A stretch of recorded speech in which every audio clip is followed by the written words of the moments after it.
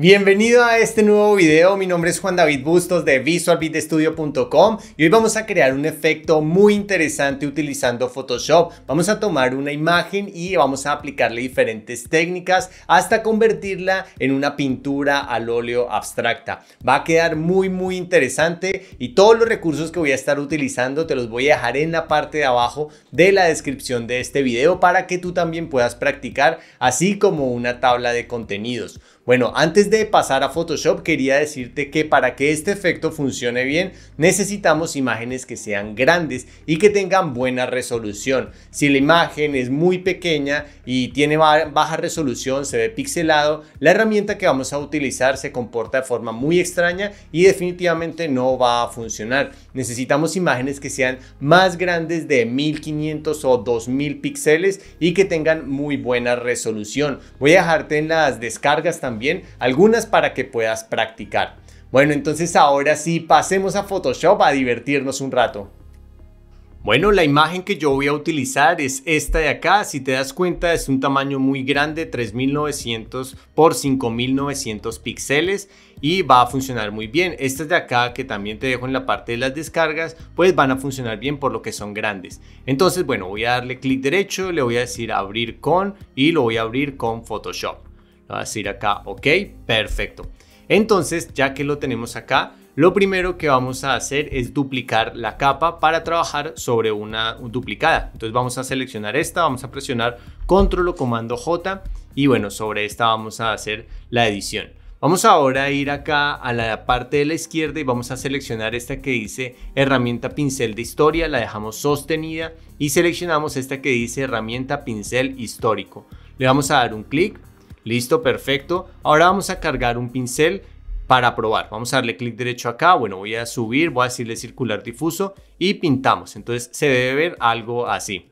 Voy a presionar control o comando Z. Si por alguna razón no te funciona, no te deja pintar, entonces puedes ir acá arriba a este icono de historia que está acá en ventana, historia y acá entonces vas a darle clic en uno de estos cuadritos para que este icono baje hasta acá. Listo, por si no te llega a funcionar. Si te está funcionando bien, vale, lo dejamos acá entonces. Enseguida lo que vamos a hacer es que vamos a cargar unos pinceles personalizados. Vamos entonces a darle clic derecho nuevamente sobre el lienzo. Vamos a ir acá a esta herramienta del engranaje, vamos a darle un clic y le vamos a decir importar pinceles. Acá entonces vamos a seleccionar este de acá que te he dejado también en la parte de las descargas, que bueno, yo la he descargado de una página que se llama Brushesy. Vamos a darle clic, le vamos a decir acá cargar, listo, vamos a bajar y la vamos a encontrar acá, ¿vale? Están al final, se llaman Acrylic Demo y entonces estas son las que van a tener los pinceles que podemos utilizar. Si seleccionamos uno y vamos hacia el lienzo, podemos ver entonces la previsualización. En este caso, bueno, yo creo que va a utilizar esta que se llama Acrylic Small 3 y puedo ver entonces cómo está quedando, cómo va a quedar ese trazo. Pero antes de empezar a pintar, vamos a darle una variación.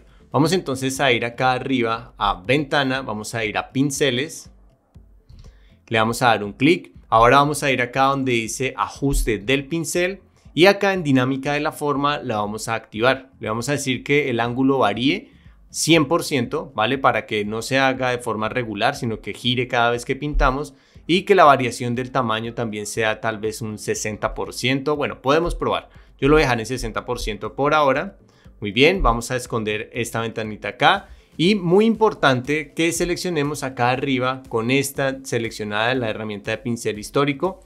En vez del estilo corto apretado, vamos a decirle este que se llama toque de pintura. Le vamos a dar un clic. Listo, perfecto. Entonces ya ahí lo tendríamos todo ajustado. El área, bueno, también el área dejémosla en cero. Listo, vamos a decirle acá área cero, tolerancia cero, ángulo cero. Vale, perfecto. Ahora, ya que lo tenemos todo en cero, vamos a darle el tamaño, vamos a darle clic derecho por acá, vamos a dejarlo de 800, bueno, tal vez, sí, de 800 estaría bien para iniciar. Y vamos a pintar sobre lo que es esta capa que hemos duplicado. Entonces vamos a dejar sostenido el clic y vamos a pintar de esta manera. Entonces te vas a dar cuenta que sucede esto, que se vuelve todo extraño, como todo abstracto. Muy bien, vamos a pintar entonces varias veces de esta manera. Acá estoy dejando sostenido el clic. Muy bien, ya que lo tenemos así, bueno, esto sería, digamos, la parte inicial. Entre más pequeño hagamos el pincel, más detalle va a tomar. Entonces vamos a duplicar esta capa, vamos a ubicarnos sobre ella, vamos a presionar control o comando J. Y ahora en esta vamos a hacerlo con más detalle. Entonces vamos a darle clic derecho, le vamos a decir que el tamaño esta vez sea de 400 píxeles y vamos a pintar en aquellas partes donde queremos que aparezcan más detalles. Entonces acá voy a dejar sostenido el clic y pinto de esta manera. Acá estoy arrastrando con el mouse, ¿vale? Sobre lo que es todo el lienzo.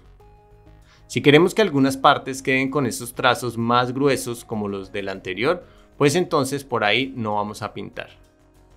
Muy bien, ahora lo vamos a hacer aún más pequeño, entonces seleccionamos esta capa, presionamos control o comando J, clic derecho y esta vez lo vamos a hacer solamente de 100 y vamos a empezar a pintar bueno, empecemos acá, voy a acercarme dejando sostenido Alt y el scroll del mouse hacia el frente. Con la barra espaciadora me puedo mover y donde pintamos aparecen más detalles. Entonces vamos a pintar sobre la parte donde está la persona.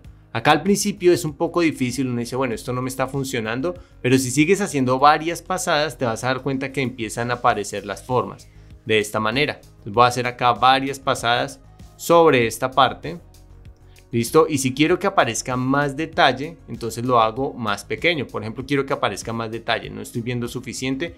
Voy a darle clic derecho y que el tamaño sea de 50. Y ahora voy a empezar a pintar por acá. Acá entonces voy a hacer varias pasadas en diferentes direcciones y te vas dando cuenta cómo va borrando como algunas partes y va mostrando otras y va entonces empezando a aparecer lo que es la figura. Muy bien, ahora voy a hacerlo un poco más grande. Puedo dejar sostenido el clic derecho, Alt y arrastrar el scroll hacia la derecha para hacerlo más grande. Listo, e ir difuminando un poco por acá, ¿vale? Acá en algunas partes me iba como pasando. Entonces así voy a jugar con el tamaño y voy a empezar entonces a pintar tal vez por acá, por la parte de abajo, por la parte donde están los automóviles también. Bueno, ahí está muy grande, lo voy a dejar más pequeño, tal vez así. Y mira cómo empiezo a pintar acá sobre los automóviles y empiezan a aparecer poco a poco.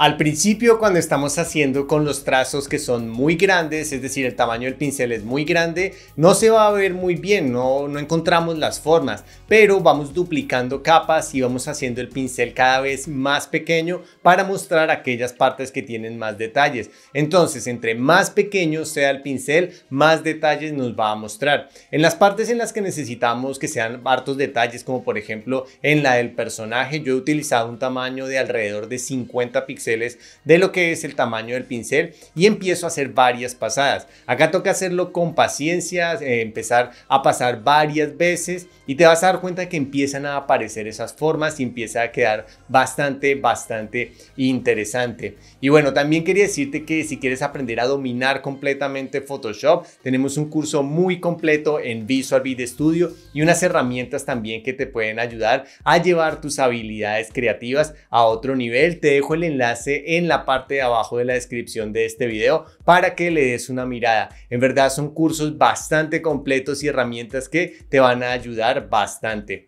Bueno, vamos entonces a continuar acá. Vamos ahora a crear un efecto más que va a darle eh, una sensación como que está sobre un lienzo que va a quedar también muy interesante. Pero bueno, este efecto que vamos a utilizar ahora va a estar en las últimas versiones de Photoshop. Si tienes versiones muy muy antiguas de Photoshop, no va a estar este efecto de óleo entonces, bueno, tendrías que omitir este paso.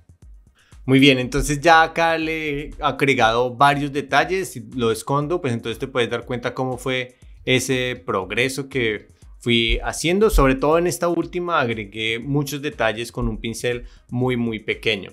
Bueno, ahora sí entonces vamos a crear el siguiente efecto. Vamos a ubicarnos sobre la primera capa. Vamos a presionar Control, Alt, Shift, E ¿listo? Para duplicarlas todas en una misma. O bueno, si no te funciona, puedes hacer lo siguiente, seleccionas esta, primera, luego dejas sostenido Shift, seleccionas todas estas y presionas Control o Comando J para duplicarlas. Y ahora estas de acá le das clic derecho y le dices combinar capas.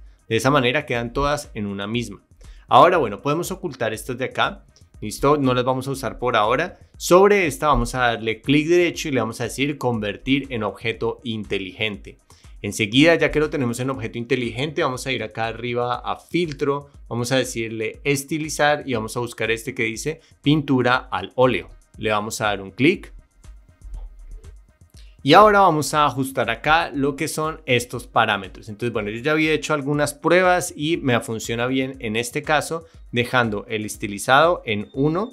La limpieza la vamos a subir hasta 10. La escala entonces la voy a dejar en 6 el detalle en 3,9 o 4 y la iluminación entonces le vamos a decir que sea de menos 23 y 1.8 de brillo.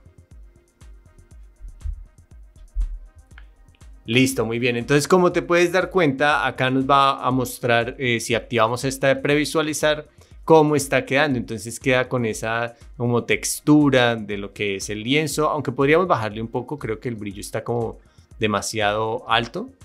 ¿Vale? Entonces lo podemos activar o desactivar. Bueno, ya va a depender de lo que tú prefieras. En este caso yo lo voy a dejar un poquito más bajo, tal vez así, y le damos en OK.